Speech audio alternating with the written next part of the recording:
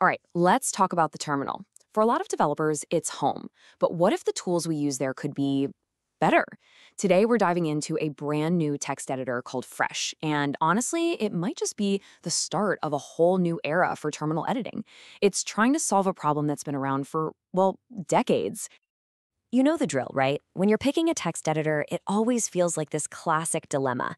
Do you want something that's ridiculously powerful, super fast, keyboard first, or do you want something that's just easy to use? It's always been a trade off. But what if, just what if, you didn't have to make that choice anymore? So, this is what we're calling the editor's dilemma. It's this age old battle speed versus simplicity. And this one conflict has basically created two totally different camps of code editors, each with a fan base that'll defend their choice to the end. And you can see the trade offs pretty clearly. In one corner, you've got the classic terminal heavyweights, think Vim. They are lightning fast, barely use any system resources, but man, that learning curve is a vertical wall. Then, in the other corner, you have modern graphical editors like VS Code. Super intuitive, packed with features, but they can be a bit sluggish, a real memory hog. You get all the bells and whistles, but you lose that instant, snappy feeling. So for ages, we've just kind of accepted this compromise. You pick your side and you live with it. But what if you didn't have to? What if some new editor could just smash those two worlds together and build a bridge right over that gap? Well, that's where this new contender, Fresh, steps into the ring. It's a terminal text editor, and it was literally built from the ground up to solve this exact problem. Okay, so the first thing that jumps out at you with Fresh is that it feels, well, familiar. It's designed so you can actually discover how to use it. No more memorizing a thousand obscure key bindings just to get started. You've got real native UIs, a full on menu system that you can actually click, and get this, a powerful command palette, just like you'd find in VS Code. So the magic here is getting that graphical feel, but with that pure, unadulterated terminal speed. It really is the best of both worlds. And it makes the jump super easy. I'm talking full mouse support. You can click, you can drag, you can highlight text, just like you would anywhere else. That menu system, yep, totally clickable. And the command palette means you can find any feature just by typing. The whole idea is to make moving from something like VS Code feel completely natural. But here's the kicker. This is where it gets really cool. With all those user-friendly features, you'd expect a performance hit, right? Wrong. Fresh is all about zero latency performance. We are talking you hit a key, the character appears.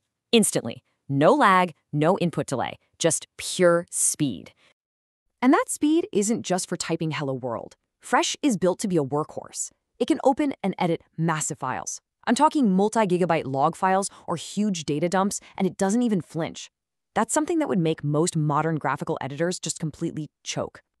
All right, so it's fast and easy to use, but what about power? Well, Fresh is also built on a totally modern, extensible foundation. This isn't just about recreating old ideas. It's about pushing forward. And a huge part of that is how it handles plugins and customization, Forget learning some weird ancient scripting language. With Fresh, you write plugins in TypeScript, and they run in a secure, sandboxed Deno environment. So what does that mean for you? It means you can use the modern JavaScript tools you already know and love to build out your editor without any fear of crashing the whole thing. And it's not like you have to build it up from scratch. It comes loaded with features right out of the box. You've got full language server protocol support for all that smart code completion, multi-cursor editing, deep Git integration, split panes, keyboard macros, markdown preview. The list just goes on and on. It's got the pro-level tools you'd expect ready to go from minute one. Okay, so let's pull back for a second. Why does a tool like this actually matter? What's the big deal? Well, this could really be pointing to the future of editing in the terminal. What Fresh is really saying is that you don't have to choose anymore. You can have a powerful, modern, user-friendly editor that lives right inside the fast, efficient terminal you already use. It's trying to finally, once and for all, end that compromise we've been talking about. And you know the best part? You can try this thing out like right now. It's super easy. You can just run a quick test with NPX. And if you decide you love it, installing it is just one NPM command away. There are also pre-built binaries on GitHub, so it's incredibly easy to get your hands on it. So I'll leave you with this thought. For the longest time, the terminal has kind of been this exclusive club, right? The domain of experts who've spent years mastering these really complex tools.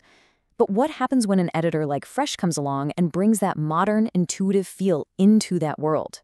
Could this fundamentally change how you work in the terminal? It's definitely something to think about.